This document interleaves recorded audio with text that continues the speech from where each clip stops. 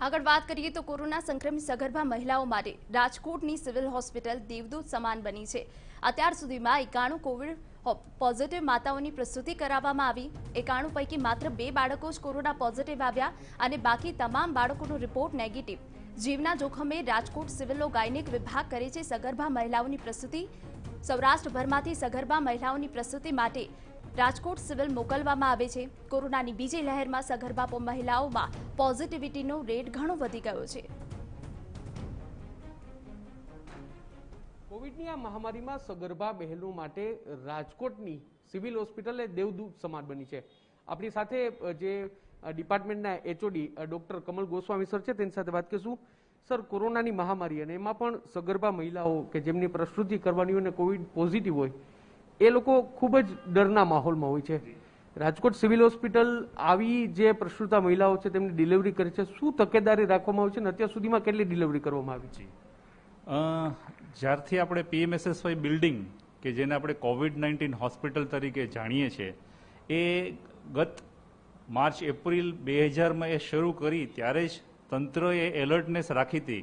ખાસ કરીને હું અહીંયા નામ લઈશ કે આપણા ઓએસડી રાહુલ ગુપ્તા સાહેબ અને માન્ય કલેક્ટર મેમ રમ્યા મેડમની દૂરંદર્શી અને સગર્ભાઓને ક્વોલિટીસભર સારવાર મળી રહે એ માટે એ વખતે જ આગોતરું આયોજન કર્યું હતું કે પીએમએસએસવાય બિલ્ડિંગમાં સગર્ભા માટે એક પ્રસૂતિ ગૃહ અને એક મેટર્નિટી ઓપરેશન થિયેટર કે જ્યાં આપણે સિઝરિયન કરી શકાય એવી અલાયદી અલગથી વ્યવસ્થા કરવામાં આવેલી.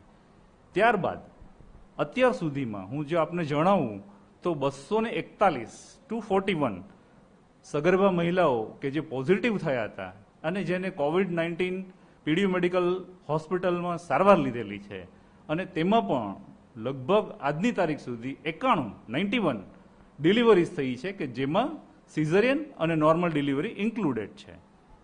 સર, જ્યારે પણ કોઈ સગર્ભા મહિલા હોય, તેમને બાળક આવવાનું હોય તો પરિવારની મોટી ચિંતા હોય છે કે તેમનું બાળક છે તે જો કોવિડ પોઝિટિવ આવશે તો મુશ્કેલી સર્જાય અત્યાર સુધીના અભ્યાસમાં જે અહીંયા આપે જે બાળકોને જે જન્મ માતા આપ્યો છે તેમાં શું રેશિયો સામે આવ્યો છે? જી. આપણે જે મેં આપને જણાવ્યું તેમ કે એકાણું ડિલિવરીઝ થઈ છે અહીંયા કોવિડ નાઇન્ટીન હોસ્પિટલમાં. જે એકાણું હોસ્પિટલમાં અડતાલીસ કલાક બાદ જ્યારે બાળકનો રિપોર્ટ કરવામાં આવ્યો છે એમાં માત્ર અને માત્ર બે જ બાળકો પોઝિટિવ મળ્યા છે. એ સારી વસ્તુ છે એ સારી ઘટના છે. સર ઘણા બધા જે પોઝિટિવ સગર્ભા મહિલા હોય છે તે ડરમાં પણ હોય છે અને તકેદાર રાખવી પણ એટલી જરૂર છે. આ બાબતે આપ મહિલાઓને શું અપીલ કરશો અને સગર્ભા મહિલાઓએ શું તકેદાર રાખવી? જી.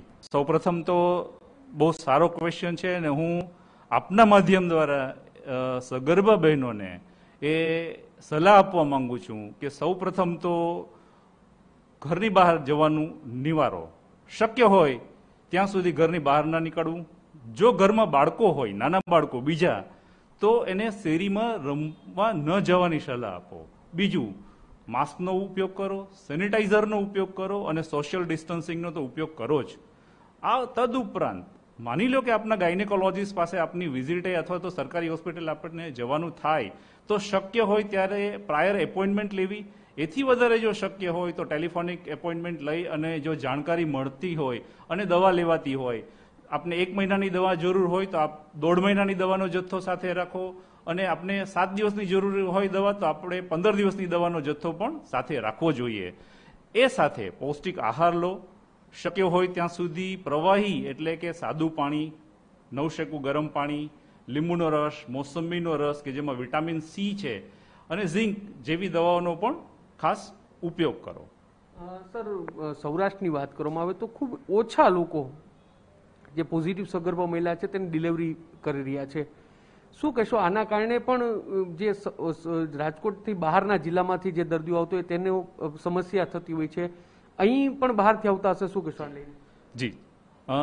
અમે છેલ્લા એક વર્ષમાં અહીંયા એ નોંધ્યું પણ છે કે રાજકોટ અને રાજકોટ સિવાયના અન્ય ડિસ્ટ્રિક્ટ એટલે ઇન્ટર ડિસ્ટ્રિક્ટમાંથી પણ દર્દીઓ રિફર થઈ અને આ કોવિડ બિલ્ડિંગ હોસ્પિટલમાં સારવાર, નિદાન ડિલિવરી, પ્રસૂતિ, સિઝરિયન વગેરે અર્થે આવે છે.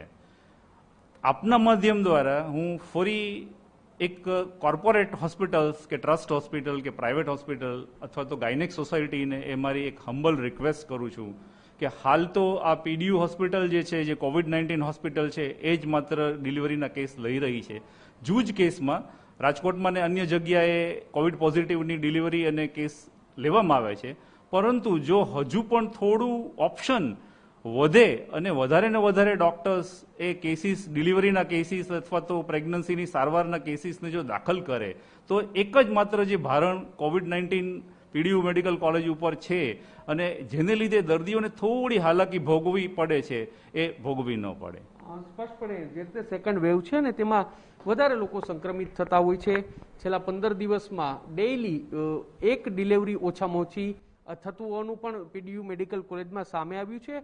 અને આ એટલા માટે થઈ ભારણ વધી રહ્યું છે કારણ કે સૌરાષ્ટ્રમાં અન્ય કોઈ જગ્યાએ કોવિડ પોઝિટિવ સગર્ભા મહિલા હોય તેની પ્રસૃતિ થતી નથી. તે ખૂબ જ ચિંતાનો વિષય છે. ત્યારે અન્ય જે હોસ્પિટલો, કોર્પોરેટ ઓફિસ, હોસ્પિટલો છે, આ ઉપરાંત ટ્રસ્ટની હોસ્પિટલ, તો તે લોકો પણ આગળ આવે તો સૌરાષ્ટ્રભરમાંથી જે દર્દીઓ રાજકોટ આવી રહ્યા છે તે તેને આવું ન પડે અને પ્રસૂતા જે સગર્ભા મહિલાઓ છે, તેની પ્રસૂતા છે, તે તેના વતનમાં જ થઈ શકે. આ બાબતે પણ યોગ્ય કાર્યવાહી થવી એટલી જ જરૂરી છે અને સૌરાષ્ટ્રની અલગ અલગ જે સરકારી હોસ્પિટલ છે, ત્યાં પણ પૂરતી વ્યવસ્થા થવી એટલી જ જરૂરી છે. કેમેરા પર્સન હેમાંશુ મકોણા સાથે મોહિત ભટ્ટ, ટીવી